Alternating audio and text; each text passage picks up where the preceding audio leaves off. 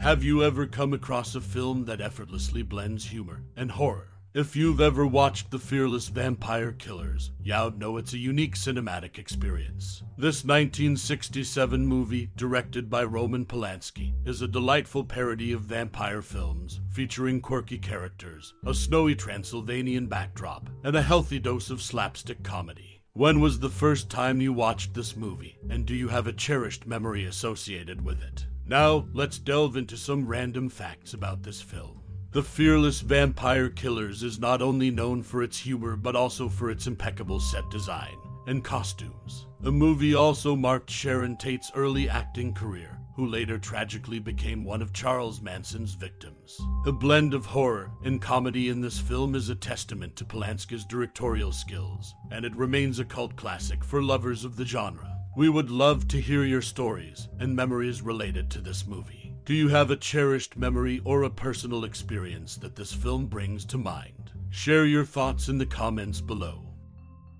The Fearless Vampire Killers, directed by Roman Polanski in 1967, is a comedic horror film that offers a unique twist on the traditional vampire genre. The story follows Professor Abronsius and his bumbling assistant, Alfred, as they travel to a remote Transylvanian village in search of vampires. Their adventure takes a comical turn as they encounter eccentric characters, including the mysterious Sarah, who is kidnapped by the undead. The film's blend of horror and humor, coupled with its visually striking gothic atmosphere, sets it apart. Polanski's meticulous direction and his portrayal of Alfred make the movie memorable, while the film's iconic ballroom dance sequence adds a touch of whimsical horror. Although not a massive commercial success upon release, The Fearless Vampire Killers has since gained a cult following and left a lasting mark on popular culture, celebrated for its unique take on the vampire mythos and darkly comedic elements.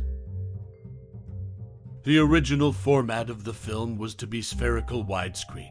However, at the early stages of production, the format was changed to wider, anamorphic Panavision. This resulted in some of the spherical shots having to be reframed and cropped in order to be as wide as Panavision.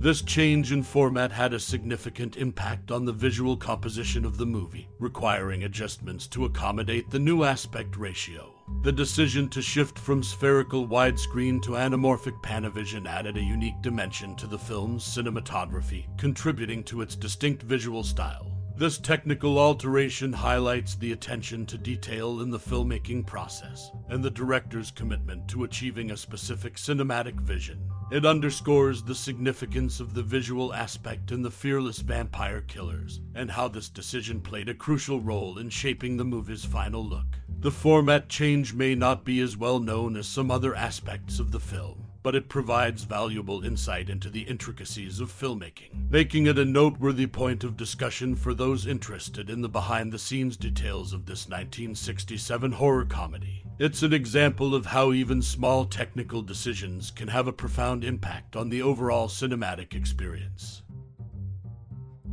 Amongst the ancestral portraits in the castle is a depiction of an ugly old woman inspired by a sketch of Leonardo da Vinci since the 18th century, frequently connected with Marguerite Maultasch, Countess of Tyrol. This intriguing detail in the 1967 movie The Fearless Vampire Killers adds a layer of historical and artistic significance to the film's gothic atmosphere. Roman Polanski's meticulous direction and the film's unique blend of horror and humor have been celebrated, but this lesser known fact reveals the depth of thought put into the set design. The inclusion of this artwork is a nod to the Countess of Tyrol and Da Vinci, offering a subtle historical connection within the movie's gothic world. While not as well known as other aspects of the film, this hidden gem of a detail showcases the attention to historical and artistic elements in the fearless vampire killers, adding another dimension to the movie's overall experience. It's a testament to the level of detail and thought that went into creating this cult classic.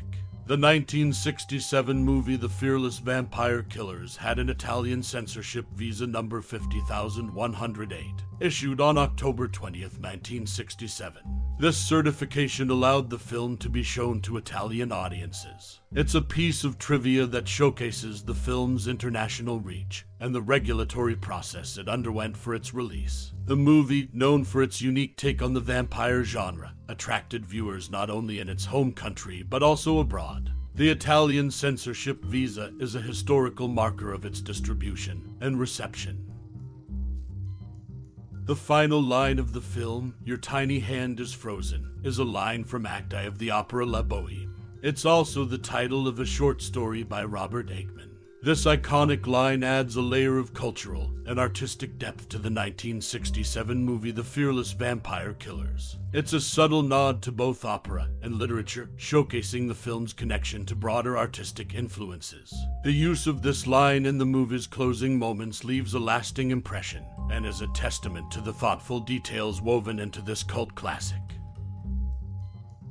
Sharon Tate's audition for the role in The Fearless Vampire Killers was far from ordinary. After two awkward dinners with director Roman Polanski, she was invited to his apartment, where he abruptly disappeared, only to reappear wearing a terrifying mask, causing Sharon to scream in terror. Despite the unconventional casting process, Sharon Tate won the role. As for the film's location, Roman Polanski initially wanted to shoot at a castle in Switzerland he had seen during a vacation.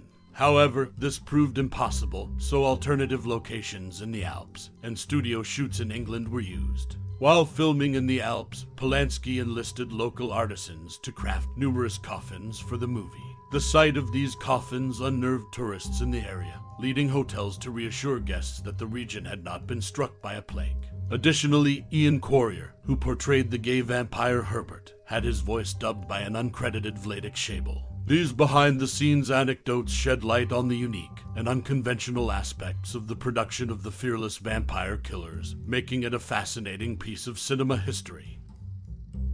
The 1967 movie The Fearless Vampire Killers had its fair share of interesting behind the scenes stories. One of them involves Roman Polanski's dissatisfaction with the American version of the film. It was not only the title that was changed from Dance of the Vampires, but the movie was also cut by over 20 minutes. To make the plot clearer after these cuts, an animated sequence was added. Furthermore, the two leading actors, Jack MacGowran and Polanski himself, had their voices dubbed by others. However, in Europe, Polanski's version of the film, under its correct title, was shown. The reason behind this title change remains a mystery, and it has led to confusion about the film's actual title in the UK. This alteration in the American release highlights the challenges faced in the film's distribution and editing process. It also shows how different versions of a movie can exist, causing potential confusion for audiences. The film's history is a testament to the complexities of the filmmaking industry, with directors and studios sometimes having differing visions for the final product. As we draw the curtains on this cinematic journey, I invite you to ponder your personal connection with the timeless masterpiece, The Fearless Vampire Killers from 1967. This cinematic gem, directed by the legendary Roman Polanski, has woven a tapestry of horror, humor, and romance that continues to captivate audiences through the ages. Whether you were swept away by the eerie yet enchanting winter landscapes, chuckled at Professor Abronsius' eccentricities, or felt your heart race as the vampire tales unfolded, the fearless vampire killers has left an indelible mark on the world of cinema. Perhaps it reminds you of a cozy evening with friends, a nostalgic family movie night, or a moment of solitude when you first discovered its charms. Now, I encourage you to share your cherished memories and thoughts about this cinematic treasure. Let your reflections and anecdotes flow, connecting with fellow enthusiasts and kindred spirits who have also been enchanted by this cinematic marvel. Your unique perspective, your personal memories, your thoughts, the all enrich the tapestry of appreciation for this classic film. So, take a moment to share your voice and become a part of the ongoing legacy of the fearless vampire killers. Thank you for your time and your enduring interest in this cinematic masterpiece. Your insights and recollections make this journey through film all the more captivating. Until next time, keep the magic of cinema alive